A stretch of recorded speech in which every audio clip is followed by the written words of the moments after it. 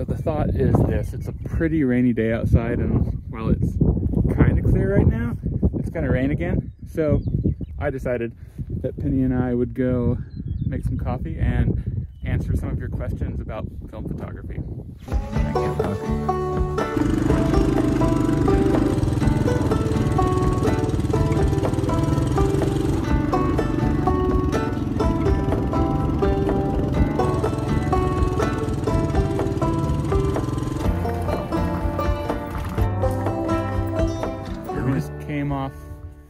Top of that and motorbike broke down. So we're gonna go find a spot more out of the wind and maybe let this thing cool down. We'll figure that out later. Wow, out of the mud hole, come on. All right, so our kit is a little different today. We've got the Freeling backpacking stove, the kettle, and a grinder, and a film camera. What's the point of all this? Um, to me, the point of this, and like the point of most other things, is just to do something, to try something, to create, to mess up, to see what you like, to see what you don't like. You just never know where something might go. So, instead of staying inside on a rainy day and messing around on the computer,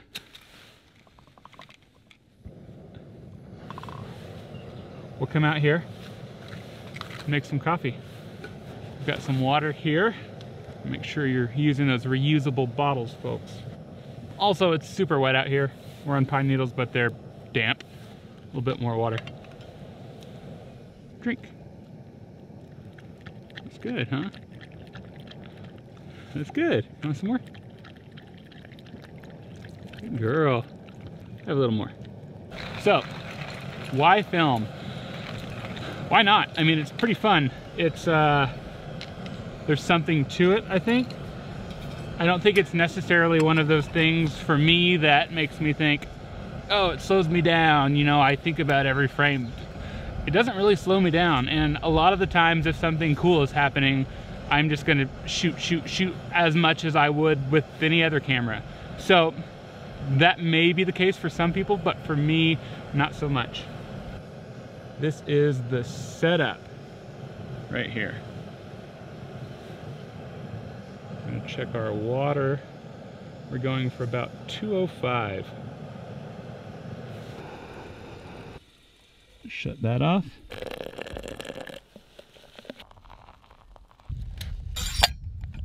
And we wait until we're at four and a half minutes or sometimes nine minutes because I forget. I wrote down all of your questions. I asked on Instagram and Twitter just what do you want to know about film photography? What's scary? What are you worried about? What is the thing that could be keeping you from starting? There goes a chipmunk, or here comes a chipmunk. Wow. Anyway, what is the resistance for you? There's all of the unknowns and what should I be worried about? What should I not be worried about? Excellent. So since I'm experiencing all of this resistance when starting something new, I remembered what it was like to start shooting film. And so the point of this whole thing is to answer your guys' questions, to answer your fears, your doubts, your unknowns, all of that stuff, and just take away any resistance that I can to help you get started shooting film. Perfect. Perfect. It's just a cup of coffee. It's it's good though. Cheers. Whew, she's hot good thing to do anytime that you're out and about is get your stuff ready to go. So it could start raining at any time and that's fine. But you don't want to be sitting here like a like a dingus with all of your stuff lying out. Like get it ready to go at least, except for the stuff you're actually using. I've got your questions right here and let's just go over some. So how do we shoot film? Don from Lancaster asks, do I process my own film? Don, no, I do not. I don't really have any interest in doing that. I'm sure it would be cool, and I'm sure if I were around it at all, I would instantly change my mind. But so far, my time is probably better spent out doing things and creating things and just letting a professional do their job. I think it's a really cool thing for people to do, but personally, I'm just not there. I like to shoot the photos and I have a hard enough time getting myself to the post office just to mail them out. So I don't want any more resistance there. This next great question comes in from Stacy in the Cayman Islands. Hi, Stacy. What kind of film do I shoot? So far, I just shoot color negative film, which is like your Portras, your Fuji 400H, Color Plus, Kodak Gold, all that stuff. And my go-to films are Portra 400 for 35 millimeter and Portra 800 on 120. Next question. Oh, we've got another Don here. Let's see. Don from Fresno says, what is box speed? What do you set your camera at? So, also there's, I didn't write down anyone's names. That's just a joke. Um, Don from Fresno asks about box speed. So box speed is what the film is labeled at. Portra 400 has a box speed of 400. Portra 800, the box speed is 800. And how I use that with color negative film, I set my camera for a stop overexposed. If my camera is DX coded, which means I put the film in and the camera automatically says this is a 400 speed film, in that case, I set my exposure compensation to plus one stop. If I've got an older camera like this guy that has little dials that you actually set the ASA or the ISO, the film speed on, if it's 400, I'll set that to 200. And at that point, I don't tell the lab anything differently. I don't do anything differently. I just build in that additional stop of overexposure. Metering for film I forget who asked. I think like 10 people asked. Camera meters are just trying to get something to gray, which means if a camera sees all white, it thinks it's too bright, I need to make it darker. If it sees something that's all black, it thinks it's too dark, I need to make it brighter. So while camera meters are great for averaging the light and all of that, you need to understand what they're doing. So for instance, if I show you this very light piece of paper and put the camera in an automatic mode, the camera is gonna start darkening down the exposure trying to make this gray. Also, if I put this black rain jacket in front of the camera, then the camera is gonna think too dark, oh crap, and try to raise everything up. So that's what your meter is trying to do. That being said, how do we meter? So for digital, as you can see up here, these highlights are just kind of blown out. And once highlights get blown out in digital, they're just gone. The rule kind of is if you're shooting in digital, you're gonna expose for the highlights, just making sure you don't blow those highlights out, and then later you'll bring the shadows up. Film is the exact opposite. With film, if your shadows are dark, they're not really gonna get brighter.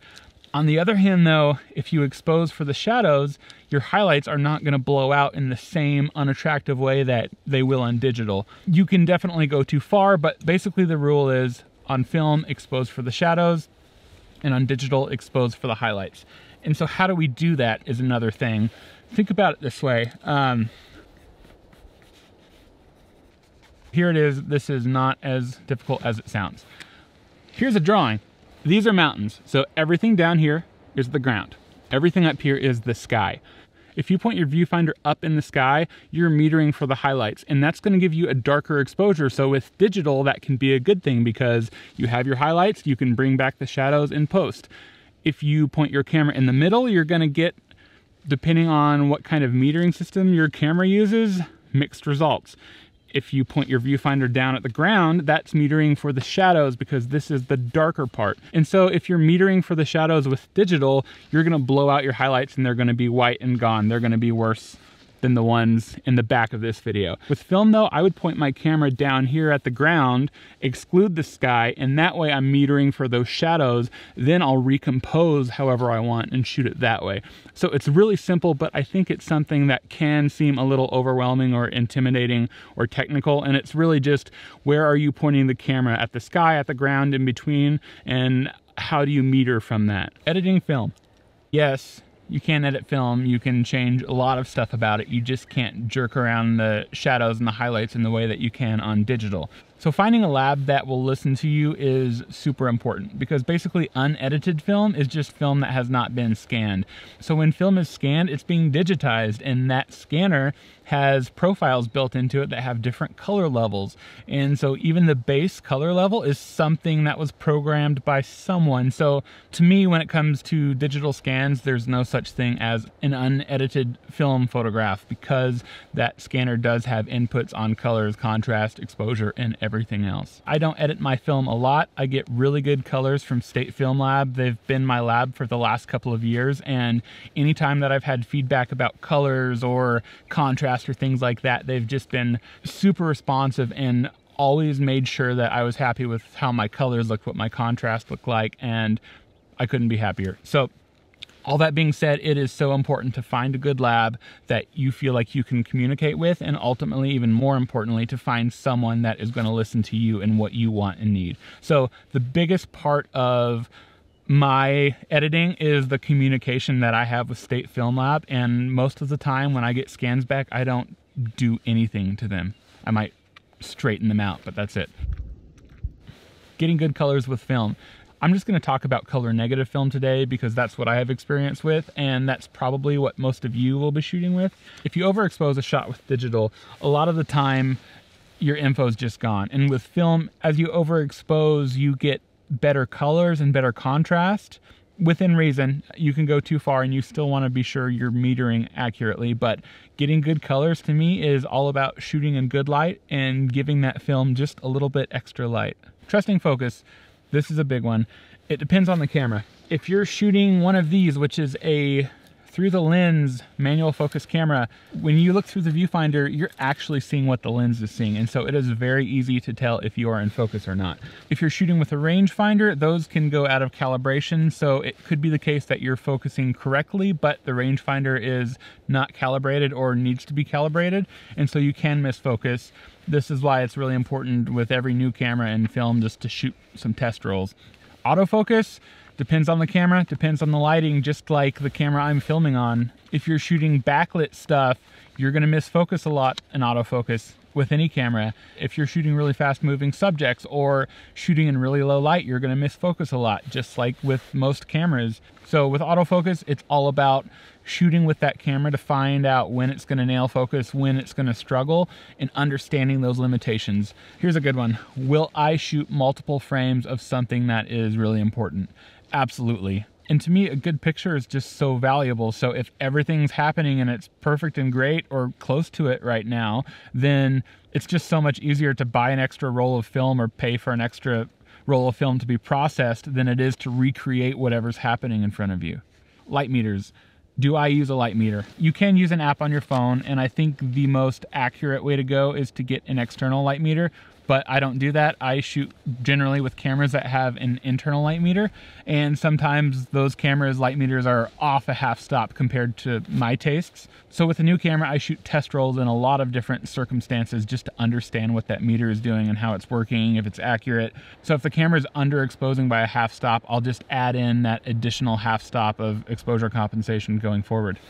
Storing film, long-term freezer, think months short term, a couple of weeks, store it in the fridge, and when you're getting ready to shoot it, pull it out of the fridge a few hours before you load it in the camera so it's not as brittle. I've never really had a problem though, even if I forgot and pulled it right out of the fridge and loaded it and shot it and whatever. After that, the film goes back in the fridge until it goes in the mail. So freezer long term, fridge short term, shoot it, and then put it back in the fridge until you send it off.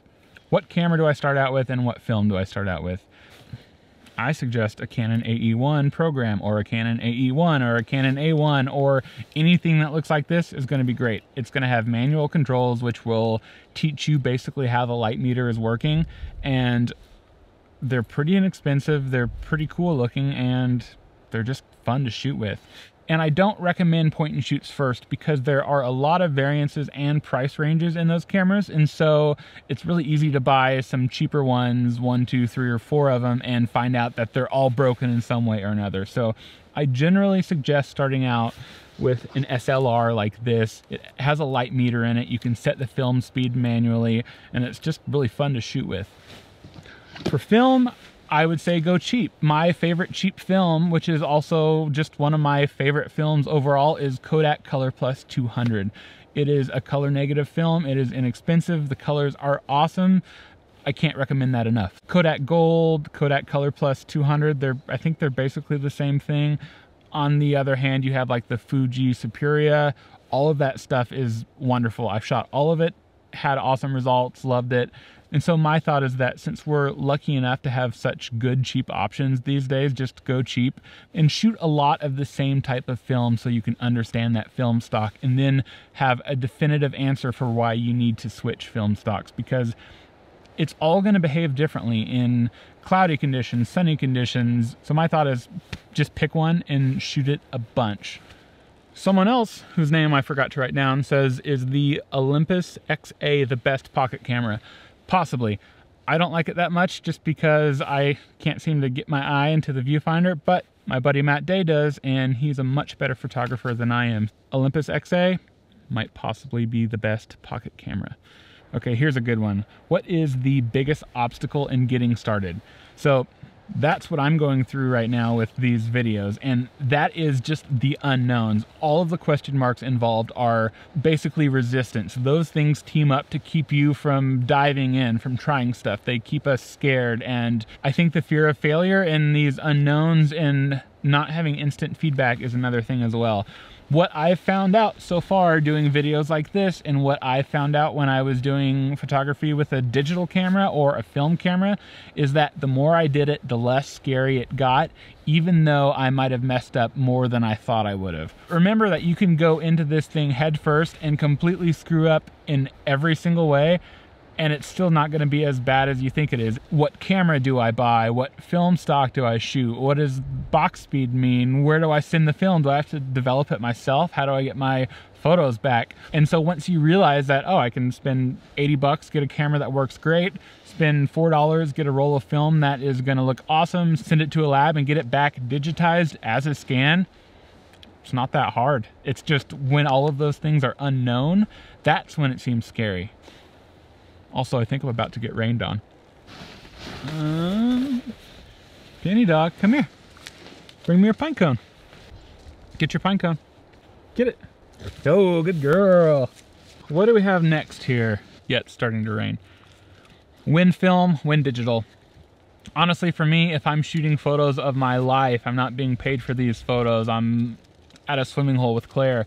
I shoot all film because I find that when I shoot film, I don't worry about editing those photos later. I get them back and they look awesome. And these are the photos that we sit down together and look at them, not just when they first come back, but months later. I mean, I look through my film photos all the time. So if it's just life stuff, I shoot film. And I will shoot digital when it's super low light or things like that, or like astrophotography. But that's the general answer. Everyday life kind of stuff, uh, going on a trip with Claire or a vacation, film. If it's commercial work, I'm usually shooting digital just to make the client happy with a fast turnaround time. I know that I can generally accomplish the same thing with either format, but it's all about making whoever's in charge happy. And so when I'm working for someone, they're in charge. When I'm shooting for myself, I'm in charge. Here's another good one on the same note. Why film when an iPhone is just as good? That's a good one. iPhones are awesome. iPhones are so good. To me, I can't make my photos from an iPhone or a DSLR or mirrorless camera look quite the same way that I can get them to with film, and that's just a personal preference. So the iPhone is probably one of the digital cameras that I shoot with the most.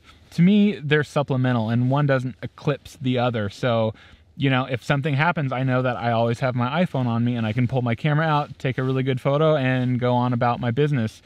Hey, good girl. At that point, it's really just about what feels good, what's fun, what works for you. And I wrote something down here, and that's kind of my segue into why I shoot film. And the thing everyone talks about is that, oh, it makes you slow down and blah, blah. It, I mean, that might be true for some people, and I, am sure that's true for a lot of people. For me, it's about accomplishing something that I can't do in the same way on digital, so I don't really slow down when I shoot film. I'm in the moment. I shoot aperture priority in film, whereas I don't on digital, so I'm actually probably shooting faster with film. I know that it's okay if the highlights are really bright, because they're going to look great. They're not going to just turn to weird clipped out gray white.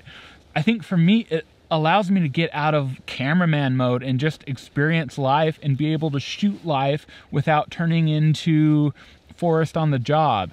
And that's such a big part of it for me is that I can capture life without going into the photographer mode and going from experiencing and living something to documenting it. Formats of films. So there's a lot of different formats of film, but we have several that are the most popular. And 35 millimeter, which is what most film cameras are, what this one here is, that's the most popular. Um, you usually get 24 or 36 shots a roll. By the way, it costs the same amount of money to have a roll of 24 photos developed and scanned as it does for a roll of 36. So always buy the 36. But yeah, so you have 35. It's relatively inexpensive, fast, cheap, a lot of camera options. The next size up is medium format. You get a bump up in image quality, but you have more limited options. It's slower. And so this includes a lot of different aspect ratios like 645, 66, 67, 6 by 9 The film is more expensive because you're getting fewer shots per roll. And when you hear people talking about 120 film, that's medium format. It goes bigger from there to 4x5 and 8x10, but those are like big old box cameras that are super awesome, but really clunky, expensive, and not something that I'm qualified to talk about. How do you manage prices of film now? Since I shoot professionally, film is just a part of my cost of doing business. I can write it off, I shoot a lot of it, it's valuable to me.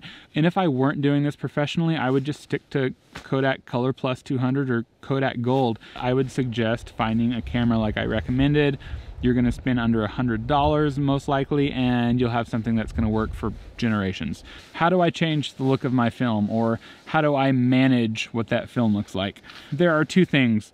What's happening at the point of capture and what's happening in the lab. Some of it could be just the light you're shooting in and you just need to find better light or more light or less light or something. And another thing would be what's happening when that film is being scanned. So the best thing is just to ask your lab. They do this every day. They see thousands of scans, the good, the bad, and the ugly, and they can tell you exactly what you need to do. The dog is still losing its mind over there, but really quickly, this video is sponsored by Quinman. He's not here. Quinman is my best good buddy, and he is letting me borrow his 2040-70, which has been extremely useful when doing video and dealing with the crop factor of the EOS R. So Quinman, if you're out there, thank you, friend. In real talk, this video is brought to you by Vintage Motorbikes. Do you like things that are loud, slow, obnoxious, and could possibly leave you stranded mile from home? Try a vintage motorbike. If I missed anything, let me know. I'm super happy to answer any of those unknowns or give you direction, whatever. Um, feel free to leave a comment or DM me on Instagram or Twitter or whatever. And like I said, I'm experiencing the resistance and I know how it is when you're trying something new that you haven't really done a lot of. So yeah, we're gonna go check on the motorbike. All right, come on.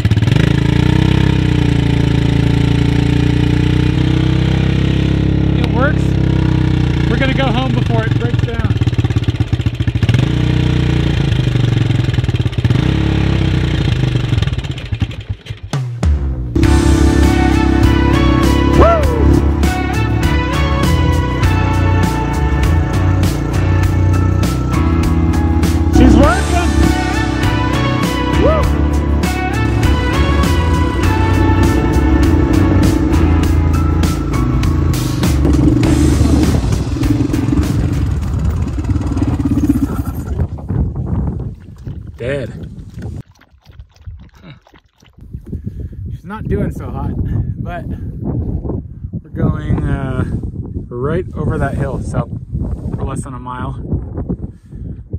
Penny knows. Yeah, the bike broke down like nine times. Penny's fault.